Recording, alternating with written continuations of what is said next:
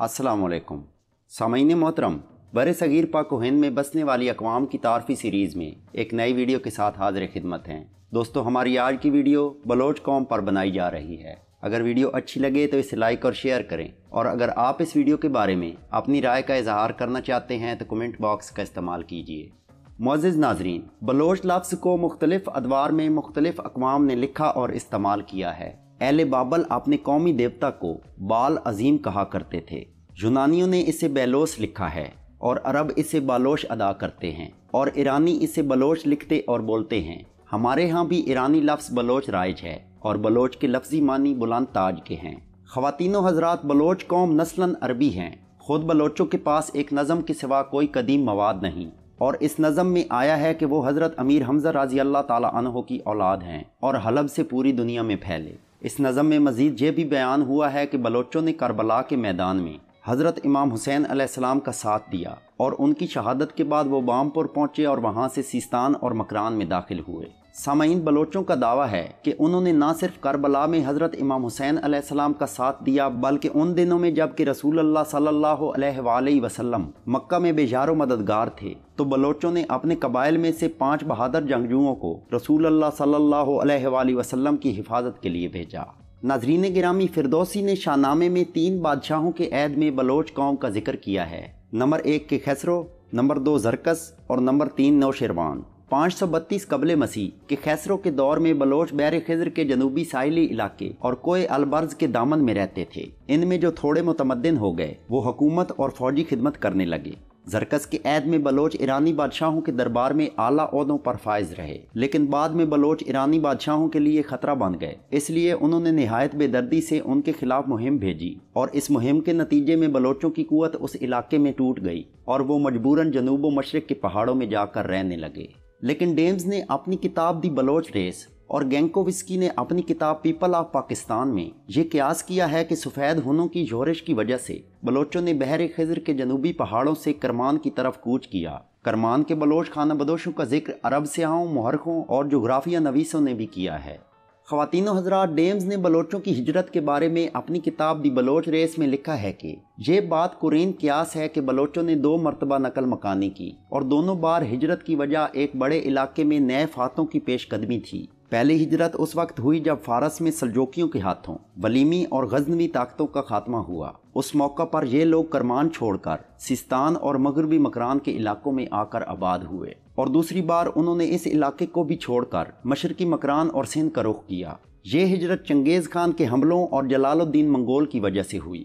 دوسری ہجرت کے نتیجے میں انہوں نے پہلی بار وادی سندھ میں قدم رکھا، جس سے ان کے لیے تیسری اور آخری ہجرت کا راستہ ہموار ہو گیا۔ اور اس طرح آخری ہجرت نے بلوچوں کے بڑے حصے کو ہندوستان کے میدانی علاقوں میں منتشر کر دیا۔ اس آخری ہجرت کا زمانہ ہندوستان پر تیمور لنگ کے حملوں اور بابر کی یورش کا زمانہ ہے۔ معزز ناظرین، اس آخری ہجرت کے بعد بعض قبیلوں نے کلات پر قابض ہو کر بلوچوں کو سندھ اور پنجاب کے میدانی علاقوں کی طرف جانے پر مجبور کر دیا۔ یہ واقعہ بلوچی تاریخ میں ناقابل فراموش ہے اور اس واقعہ کے بعد یہ قوم دو گروہوں میں تقسیم ہو گئی۔ محمد سردار خان بلوچ نے اپنی کتاب میں لکھا ہے کہ بلوچوں کی مقبول عام روایات سردار امیر جلال خان بلوچ کے عید سے شروع ہوتی ہیں۔ بلوچ روایت کے مطابق سردار امیر جلال خان تمام بلوچ قبائل کے سردار تھے۔ جو گیارہویں صدی عیسوی میں کرمان کے پہاڑوں اور لوت کے ریگستان میں رہتے تھے۔ مگر سیاسی انتشار کی وجہ سے وہ قافلہ در قافلہ کرمان چھوڑ کر سیستان چلے آئے۔ جب یہاں بھی چین نہ ملا تو اپنے سردار امیر جلال خان کی قیادت میں واپس کرمان گئے اور ضلع بام پور میں جا کر آباد ہو گئے۔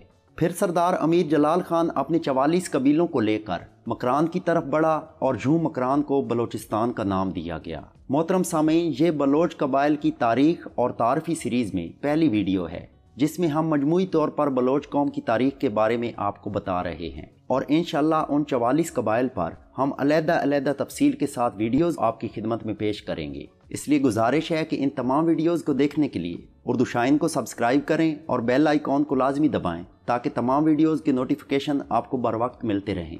دوستو، امیر جلال خان کی آمد سے پہلے مکران پر منگول حکومت کرتے تھے۔ جب بلوچ سردار نے انہیں شکست دی تو اس طرح مقامی آبادیوں کی وفاداریاں بھی انہیں آسانی سے مجسر آ گئیں، کیونکہ مقامی لوگ منگولوں کے ظلم و ستم سے تنگ آ چکے تھے۔ اور یہ بھی مسلمہ امر ہے کہ امیر جلال خان کی آمد سے پہلے بھی مکران میں بلوچ آباد تھے، جو کہ خانہ بدوش تھے اور بھیڑ بکریاں پال کر گزارا کرتے تھے۔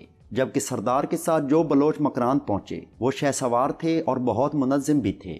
سردار جلال خان نے مکران میں اپنی حکومت قائم کر کے ان تمام خانہ بدوش بلوچ قبائل کو اکٹھا کر کے انہیں قومیت کا احساس دیا اور قبائلی نظام کو مضبوط بنیادوں پر استوار کیا۔ سردار امیر جلال خان بلوچ کے چار بیٹے تھے، جن کے نام رند، کورائی، لاشار اور ہوت تھے اور آگے چل کر ان چار بیٹوں کے نام سے مزید چار قبیلے وجود پذیر ہوئے۔ خواتین و حضرات پندرہویں صدی عیسوی تک بلوچ اس علاقے میں اپنے پنجے مکمل طور پر گاڑ چکے تھے۔ پندرہویں صدی عیسوی میں بلوچوں نے اس علاقے میں سے مزید آگے بڑھنے کا فیصلہ کیا اور بلوچوں کے دو قبیلے، رند اور لاشار، ساتھ ساتھ ہی وسطی بلوچستان کی طرف آگے بڑھے، جو لوگ ان کے مقابلے پر تھے یا تو وہ قتل کر دیے گئے یا انہوں نے ان لوگوں کی اطاعت قبول کر لی۔ اور آخر کار میر چاکر خان رند کے عید میں سارا بلوچستان بلوچوں کے قبضے میں آ گیا اور وہاں ان کی حکومت قائم ہو گئی۔ میر چاکر خان رند جو کہ بلوچ نسل کے عظیم سپوت تھے۔ ان کا شجرہ نصب کچھ اس طرح سے ہے۔ سردار میر چاکر خان رند، بن سردار امیر شہک رند، بن سردار امیر اسحاق رند، بن سردار امیر کالو رند، بن سردار امیر رند اور بن سردار امیر جلال خان بلوچ تھے۔ معزز ناظرین، میر چاکر خان رند یا چاکر اعظم صرف ایک نام یا شخصیت نہیں، بلکہ بلوچوں کی تہذیب و ثقافت، تاریخ و تمدن، معیشت و معاشرت، اخلاق و عادات، بہادری و جوان مردی جوش و جذبہ گفتار و کردار اثار و قربانی افائے عید اور انتقام کا نام ہے۔ سردار میر چاکر رند خود بھی بہادر تھے اور صرف بہادر دوستوں کو ہی نہیں، بلکہ بہادر دشمنوں کو بھی قدر کی نگاہ سے دیکھتے تھے۔ اور میر چاکر کا قول ہے کہ بہادروں کا انتقام بھی مجھے پیارا ہے، جو میرے اونچے قلوں پر حملہ کرنے کی ہمت رکھتے ہیں۔ دوستو، میر چاکر خان مکران کے قیام کے دوران اپنی ابھرتی جوانی میں ہی قوم میں مقبول ہو گئے اور کلات پر حملے کے دوران بہادری کے وہ جوہر دکھائے کہ لوگ انگشتے بدنداں رہ گئے۔ چاکر اعظم نے خزدار فتح کیا، درہ مولا پر قبضہ کیا اور پھر کچھی کے میدانوں کو فتح کر کے قبضہ کرنے کے بعد سبی کو فتح کیا۔ میر شہک کے انتقال کے بعد پورے رند علاقوں کا حکمران ان کا بیٹا چاکر اعظم تھا اور وہ رند بلوچوں کی تاریخ کا سنہری دور تھا۔ لیکن اس دور کا اختتام اتنا تاریخ اور عبرت انگیز ہے کہ میر چاکر کے آخری دور میں نہ صرف رند بلوچ بلکہ پوری بلوچ قوم کا بہت نقصان ہوا۔ قبائلی حسد کی وجہ سے رند اور لاشاریوں میں جنگ چھڑ گئی، جو تیس سال تک جاری رہی۔ اور ان دونوں قبائل کی اس جنگ نے کئی داستانوں کو بھی جنم دیا۔ اور اس جنگ کا نتیجہ یہ نکلا کہ کئی بلوچ قبائل سندھ اور پنجاب میں ہجرت کرنے پر مجبور ہو گئے۔ اور پوری بلوچ قوم اس طرح منتشر ہوئی کہ آج تک دوبارہ اکٹھی نہ ہو سکی۔ دوستو، رند اور لاشاریوں کی اس جنگ کے متعلق انشاءاللہ ہم ایک علیحدہ ویڈیو بنائیں گے۔ خواتین و حضرات میر چاکر کا دور، بلوچوں کا عروج اور خوشحالی کا دور تھا۔ اور آج بھی بلوچ قوم کا اجتماعی طور پر ہیرو میر چاکر ریند ہے۔ اور آج بھی تمام بلوچ قومیں میر چاکر خان ریند کا نام عزت و احترام سے لیتی ہیں۔ میر چاکر کہتے تھے کہ مرد کا کول اس کے سر کے ساتھ بندھا ہے۔ سچ بولنا بلوچوں کا شیوا ہے اور جھوٹ ایمان کی کمزوری کی نشانی ہے۔ بلوچ لوگ بالخصوص رند بلوچ، عورتوں اور بچوں پر کبھی ہاتھ نہیں اٹھاتے۔ مہمان اور مہمان نوازی بلوچ معاشرے کا ایک لازمی حصہ ہے اور مہمانوں کو خدا کی نعمت سمجھتے ہیں۔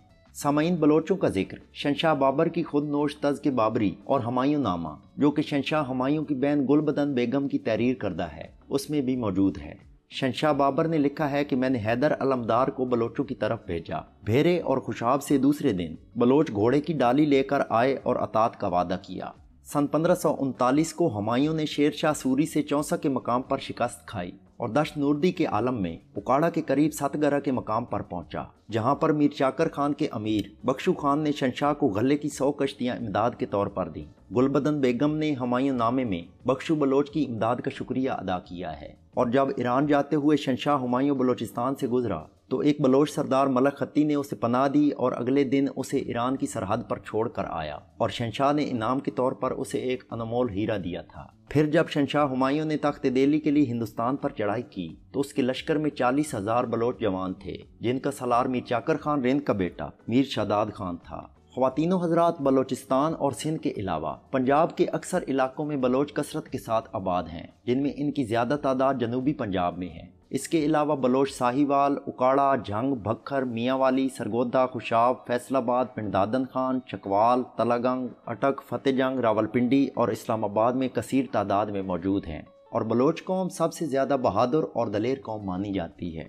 معزز سامعین، بلوچ قبائل کی مادری زبان بلوچی ہے۔ یہ ہند یورپی خاندان السنا کی شاخ ہند ایرانی جو کہ فارسی سے پہلے رائج تھی، اس کی ایک بولی ہے۔ بلوچی زبان، پاکستانی صوبہ بلوچستان، ایرانی بلوچستان، سیستان، کردستان اور خلیج فارس کی ریاستوں میں بولی جاتی ہے۔ اس کے علاوہ بلوچ براوی، فارسی، پشتو، اردو، پنجابی، سریکی اور عربی زبان بھی بولتے ہیں۔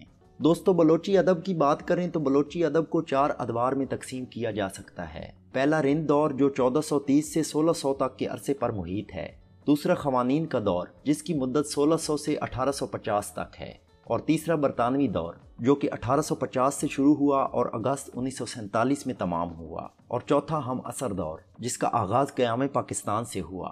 قیام پاکستان کے بعد بلوچی ادب کی ترقی و فروغ کے لیے مؤثر کوششیں کی گئیں۔ انیس سو انچاس میں بلوچستان رائٹر ایسوسی ایشن کا قیام عمل میں لایا گیا۔ انیس سو اکاون میں بلوچ دیوان کی تشکیل ہوئی اور بلوچی زبان کا ایک ماہوار مجلہ عمان کا اجرا ہوا۔ کچھ عرصے بعد ماہانہ بلوچی جاری کیا گیا اور اس کے فوراً بعد ماہانہ اولس اور ہفت روزہ دیر شائع ہوئے۔ جبکہ انیس سو انسٹھ میں بلوچ اکیڈمی قائم ہوئی جس کے زیر اہتمام متعدد بلوچی کلاسیکی کتب شائع ہو چکی ہیں۔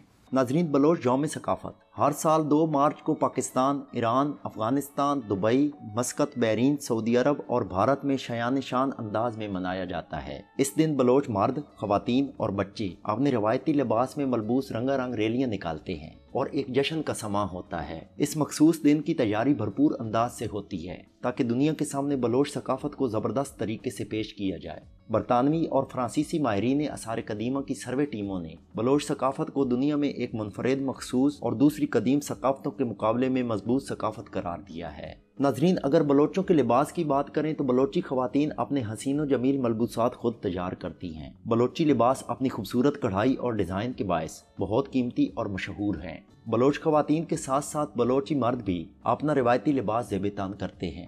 مردوں کی مقبول پوشاک میں پگڑی، ڈھیلی چوڑے گھیر کی شلوار اور گھٹنوں سے نیچی ڈھیلی قمیض شوق سے پہنی جاتی ہے۔ دوستو، تمام بلوچ قبائل کا مذہب اسلام ہے اور ان کی ثقافتی شناخت میں مذہب ایک اہم جز ہے جو انہیں یکجا کرنے اور متحد رہنے میں مدد دیتا ہے۔ اگر دنیا میں بلوچوں کی کل آبادی کا جائزہ لیں تو تو دو ہزار نو کی کلیکشن کے مطابق پوری دنیا میں تقریباً بلوچوں کی آبادی انتالیس اشاریہ اٹھانوے ملین ہے۔ اور گنجان آبادی والے علاقوں میں پاکستان، ایران، سلطنت عمان، افغانستان، متحدہ عرب امارات، بھارت اور ترکمانستان شامل ہیں۔ دوستو، اس کے ساتھ ہی ہماری آج کی ویڈیو مکمل ہوئی۔ ویڈیو کے اختتام پر آپ ناموار بلوچ شخصیات کی لسٹ ملاحظہ فرما سکتے ہیں۔ اگر ویڈیو اچھی لگے تو اسے لائک اور شیئر کریں۔ ہمارے چینل کو سبسکرائب کریں اور بیل آئیکن کو لازمی دبائیں تاکہ تمام ویڈیوز کے نوٹیفیکیشن بر وقت آپ تک پہنچ سکیں۔ ویڈیو دیکھنے کا شکریہ۔ اللہ حافظ۔